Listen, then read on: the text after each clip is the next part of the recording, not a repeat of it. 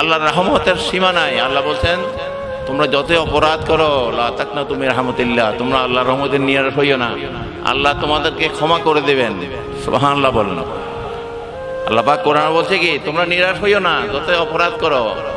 আমার নবী বলছেন আবু হরাই থেকে হরাই রাদিয়াল্লাহু তাআলা থেকে হাদিস, আমার আল্লাহর কাছে একশো প্রকারের রহমত আছে। সুবহানাল্লাহ বলেন একশো নিরানব্বই প্রকারের রহমত আমি আমার আল্লাহ রেখে দিয়েছেন হাসরের ময়দানের জন্য।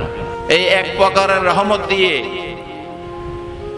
মা বাবা সন্তানকে মহাব্বত করে, সন্তানরা বাবা মাকে মহাব্বত করে, মুর্শিদের মহাব্বত করে, মুরিদরা। এইভাবে মানুষ মানবতা, মানবতার জন্য মানুষ কাজ করে, মানুষকে ভালোবাসে। হিংস্র জন্তু, জানোয়ার, হাইওয়ানরা পর্যন্ত তার সন্তানদেরকে এই এক প্রকার রহমতের মাধ্যমে কিন্তু ভালোবাসতেছে বলেন।